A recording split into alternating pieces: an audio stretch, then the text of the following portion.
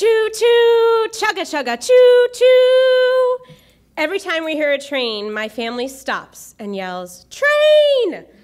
My three year old son immediately stops what he's doing and, with as much excitement as he can muster, yells, Where? Where? And this goes on almost every day. We live by a train track.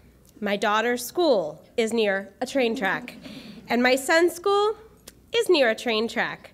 A day does not go by that we do not hear the familiar woo woo sound that makes my son miss a beat. I have a secret about my son. I don't talk about it. For fear I will sound crazy or that the feeling will come to a fruition. When he was born, everything was wonderful, but somehow, in the months following, I had a premonition that my son was going to be a tragedy in my life. I have no idea why I felt this dread. It was more of a matter of fact than something I harped on, but it stuck. I only told a few people. I shook it off and thought I was being silly. But the idea of, having of him having a tragic situation at a young age stuck in the recesses of my mind and my soul. I had recently told a friend about this feeling I had, and then I dis dismissed it, as I always did. Soon after, the day came when I missed a beat. We went to Strasburg Railroad for the Santa train when my son was two. He was in awe. The boy was in love. Huge steam engine puffing smoke, wheels bigger than he was. It was heaven for him.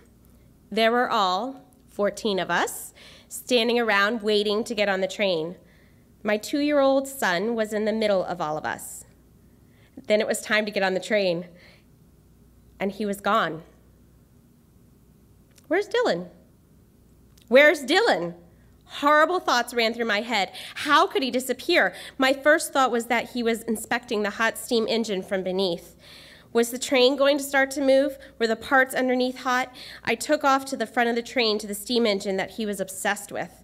I ran, hyperventilating, yelling his name, tears streaming down my face. I heard nothing of the crowd, nothing of the train. I was only listening for my son's familiar, Mama. I thought, this is it. This is my tragedy.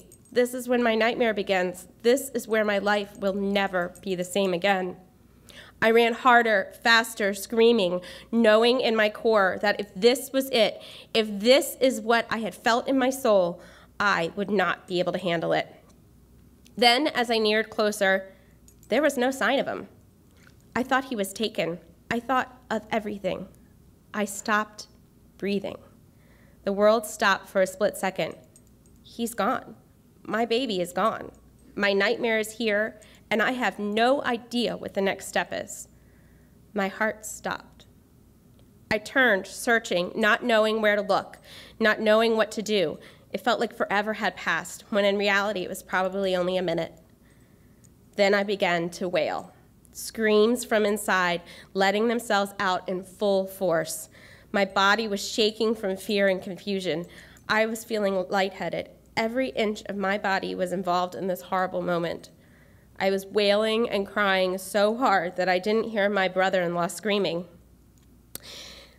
Then I heard, We found him. And I turned around, and there he was. The blood began to rush into my body, and I squeezed him tight and didn't want to let him go. I scolded him for walking away, while at the same time whispering in his ear, Don't ever leave. Don't ever leave my heart again. I sobbed. He had gone behind a building and was looking at another train. I held him for the next hour, which he didn't like at all because he was on a train. In the days following, I began to wonder if that was the tragedy, and over the next year, the feeling went away. He still makes my heart stop frequently because he is a boy and likes to be a daredevil, but mostly because he's the sweetest thing on earth, and I just love him so.